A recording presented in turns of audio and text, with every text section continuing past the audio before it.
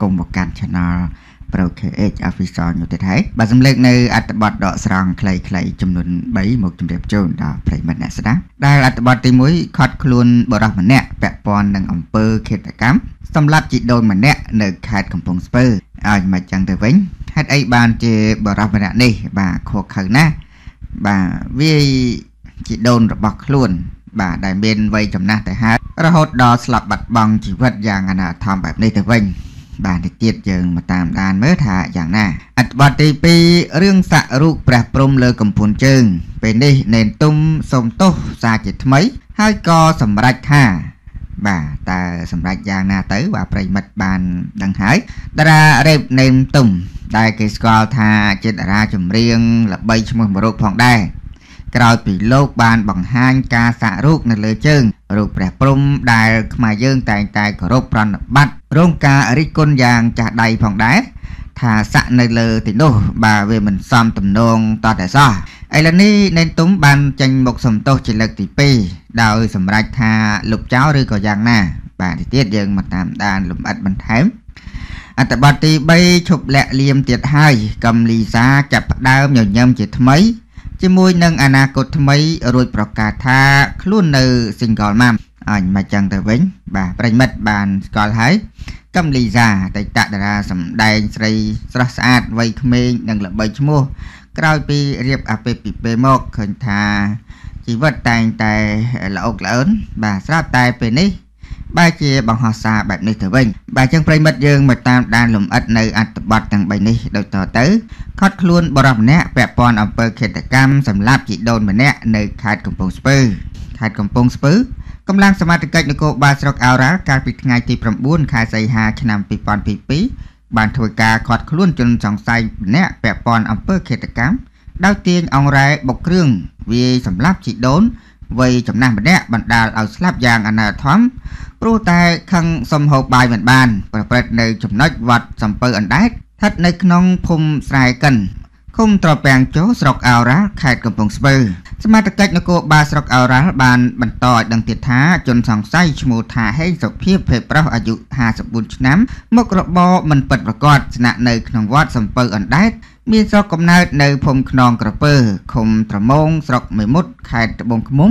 ដែលជាបរិះអនាថាមកសុំលោកសង្ឃនៅជាមួយចំណែកឯជនរងគ្រោះឈ្មោះថាតេងខុនអាយុ62ឆ្នាំរស់នៅភូមិអូតោង ឃុំត្រពាំងជោស្រុកអូរ៉ាល់ត្រូវជាយាជីក្នុងវត្តសំពៅអណ្ដែតបច្ចុប្បន្នជនសង្ស័យខាងលើត្រូវបានបញ្ជូនទៅស្នងការដ្ឋាននគរបាលខេត្តកំពង់ស្ពឺដើម្បីរៀបចំបែបបទនិងកសាងសំណុំរឿងបញ្ជូនទៅតុលាការដើម្បីចាត់ការតាមផ្លូវច្បាប់បាទប្រិមិត្តនេះគឺតកតើនឹងករណីអង្គើអង្សាដែលបរិសម្នាក់មិនដឹងថាគាត់គិតយ៉ាងម៉េចបាទគ្រាន់តែសំបាយហូបអត់បានបើជាខឹងក៏កើតជាកំហឹង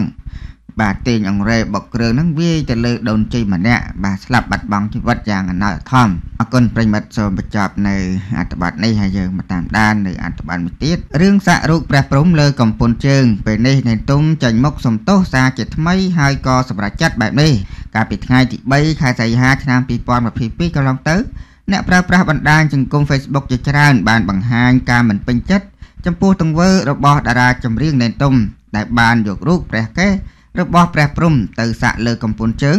ហាក់មិនឲ្យតម្លៃវប្បធម៌ដ៏ល្អផូរផង់របស់ខ្មែរនោះក្រោយពីមានការរិះគន់ភ្លាមភ្លាមនោះនេនទុំក៏បានចាញ់មកសំទោសជាសាធារណៈម្ដងរួចមកហើយទោះនេនទុំចាញ់មកសំទោសយ៉ាងណាក្តីសម្លេងនៃការរិះគន់នៅតែកើតឡើងជាកំហុក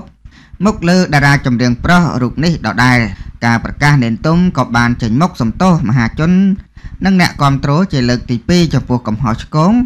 ដែលលោកបានសាក់រូបព្រះព្រំនៅលើកំពង់ជើងបែបនេះជាមួយគ្នានោះដែរតារារ៉េបនេនតុំក៏បានបញ្ជាក់ថាលោកនឹងសាក់រូបផ្សេងមួយទៀតនៅពីលើសាក់ព្រះព្រំបន្ទាប់ពីជាសះស្បើយស្នាមចាស់ក្នុងនោះដែរនេនតុំបានចេញវីដេអូសំទោសជាលើកទី2ក្រោយពេលការចេញមកសំទោសលើកទី1ហាក់នៅបន្តស្ងប់ស្ងាត់ការរិះគន់របស់មហាជនតាមរយៈវីដេអូថ្មីនេនតុំបាននិយាយថា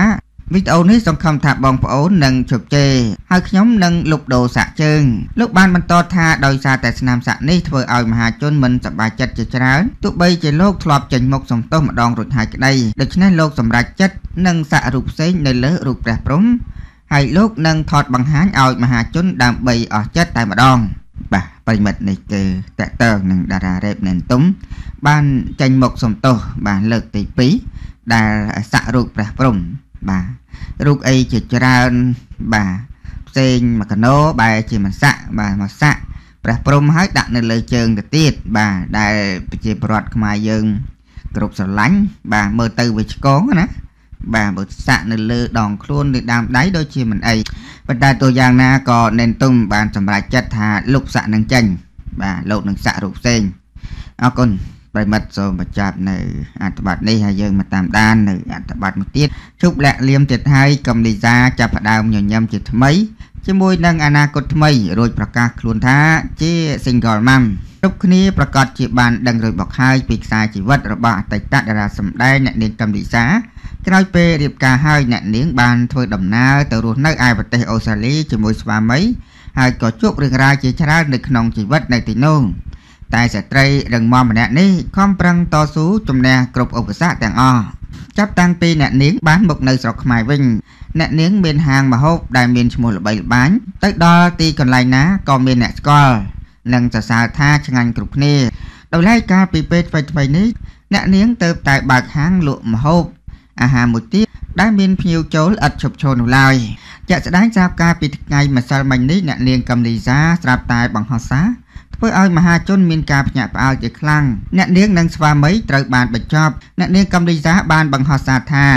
ញញឹមទទួលយកជីវិតថ្មី និងរឿងថ្មីថ្មីទៅអនាគត single mom បាទប្រិមិត្តនេះគេតេតើនឹងអ្នកនាងកំលីសាបាទស្រាប់តែថ្មីថ្មីនេះបានបង្ហោះសារហាក់បីដូចជាបញ្ចប់ បាទជីវិតគ្រួសារណាបាទឃើញថាខ្លាចជា single mom បាទអ្នកមេម៉ាយ ស្រស់ស្អាតទៅហើយមិនដឹងថា មានបញ្ហាអ្វីបាទរឿងរ៉ាវអ្វីឲ្យប៉ັດប្រកាសបាទចឹងអរគុណប្រិមិត្តសូមបញ្ចប់នៅអត្ថបទបាទទាំង3នេះ